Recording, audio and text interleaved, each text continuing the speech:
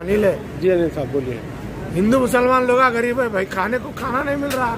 गरीब लोग मर रहे क्या है बोल के? दुकाना छोटे छोटे दुकाना चलाते साले। हिंदू और मुसलमान सब परेशान है। उसको बुला के इतना बड़ा काम करे सो है। मुनावर फारूकी को। बुला के इतना बड़ा काम करे सो है। उसको कहीं को बुलाई गवर्नमेंट? गवर्नमेंट प्रोडक्शन कहीं को दी उसको? वजह है। बस।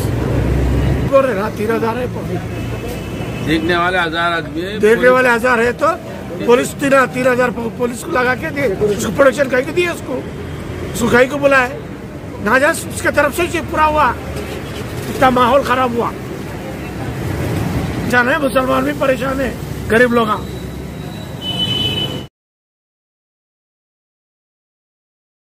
बेटा है सब अच्छा रहता। फुकट, गरीब, अपने पैसे से खा रहे उन लोग। हाँ? कौन हो रहा? गरीब लोगों की नुकसान हो रही है। बच्चे स्कूल को नहीं जा सक रहे। परसों तीन दिन इससे पहले कोविड। कहाँ से पढ़े थे? पढ़ते जी बच्चे ऐसे ही आवारा हो जाते फिर। हाँ? उसके बेटे को नो भिजा बोला उसको। वहाँ वो में खाना नहीं दे रहे जेर दे रहे जेर होम मिनिस्टर साहब क्या हो रहा है ये? ये हिंदुस्तान के अंदर हैदराबाद तेलंगाना गंगा जमुना तहजीब बोल रही। एक दौर याद दिला दिए ये रमेजाबी के दौर में हुआ था एक दौर में। रमेजाबी के पीरियड में हुआ था, जब तो हम पैदा भी नहीं हुए थे, जबकि बात बता रहा हूँ होम मिनिस्टर साहब, क्या कर रहे हैं आप? तेलंगाना गवर्नमेंट क्या है ये? और रिजेक्ट कर रही थी पब्लिक हम मानते खतरमबाजी हुई, मानते गैर मुस्लिम के जो नौजवान पकड़े गए, वो लोगों के ऊपर क्या एक्शन होगा? मैं हुकूमत तेलंगाना चीफ मिनिस्टर के सी आर साहब के सी आर साहब से और के डी आर से सवाल करता हूँ। गंगा जमुना तहजीब बोल रहे क्या है ये गंगा जमुना तहजीब, बताइए। बताइए, हिंदुस्तान के हिंदुस्तान के हैदराबाद के हालात ऐसे होंगे तो क्या होंगे हैदराबाद में? क्यों उसको छोड़े?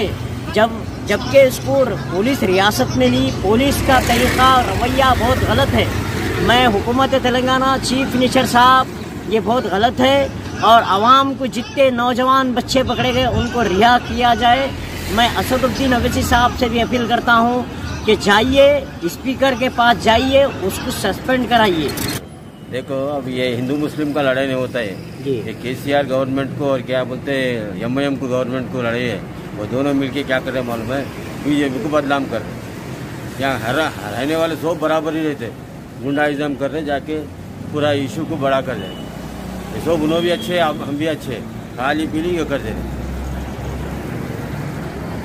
ये देखो मैं 1986 में यहाँ फोर्टी मैं चालीस पैंतालीस साल से यहाँ हूँ। यहाँ के लाल लाल दरवाजे के। जी जी। पैदाइश ही आई है।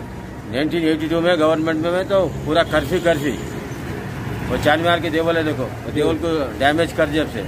यहाँ क्या बोले गुंडागर्दी जब कांग्रेस करती थी, अब केसीआर करा रहा मेरा नाम राजेश्वर राव है रिटायर्ड इंजीनियर हूँ। देखो भाई, दोनों यहाँ आपसे नहीं, एक पता क्या बोलते सलाउद्दीन ओवैसी जैसे गवर्नमेंट से लेके उनके बच्चे गवर्नमेंट तक है ना, सब अच्छे है, पर क्या है मालूम है, खाली पीली बहेगा के पब्लिक को ये कर रहे उनके के वास्ते। ऐसा है, हर जगह आपको जो है क्रश कर रहे हैं ना अभी और जो गुंडे हैं, जो जालिम हैं, जो जो है, जुल्म कर रहे हैं, जो जो फसाद बर्पा कर रहे हैं, जो कातिल हैं, जो जानी हैं, उनको छूट मिल जा रही है और उनको जो है, फिर सीटें मिल रही हैं और बड़ा इस्तेमाल हो रहा है फूलों से। उनको मिनिस्ट्री मिल रही है। तो ये क्या है? क्लियर मैसेज है कि वह एक तरफा है। और महमूद अली साहब तो क्या है मनो पुलिस के, पुलिस का डिपार्टमेंट उनके पास है तो वो कुछ करें।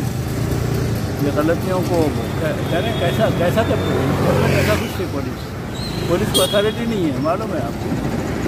मगर क्योंकि मालूम है, आपका पास कोई, आपके पास कोई ताकत नहीं है, कोई लीडर नहीं है, कोई आवाज़ नहीं है, कोई सियासी आपका वज़न नहीं है, ये सब भुगत, भुगतना पड़ेगा। जब तक आप अपना सियासी शिनाख्त पैदा नहीं करेंगे और लोगों में बेदारी नहीं आएगी।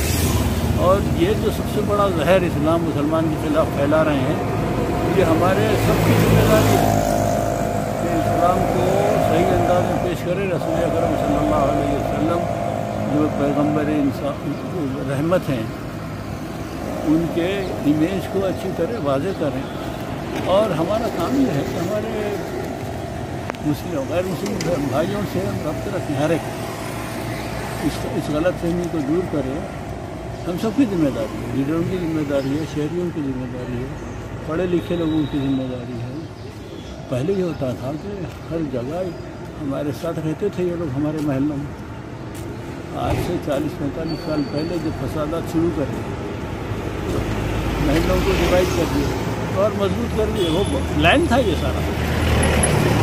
ये अब तो बहुत बड़ी प्लानिंग है इनके जो है। तकरीबन सौ से ज़्यादा ऑर्गेनाइजेशन है, आपका है? आप, आपको भी ज़रूरत है, आप जो है आपको दस्तूर ने हक दिया है, दस्तूर के हक को इस्तेमाल कीजिए, लोगों में बेदारी लाइए और पॉजिटिव वर्क कीजिए और जितना नेगेटिव कर रहे हैं ज़्यादा दिन चलता नहीं।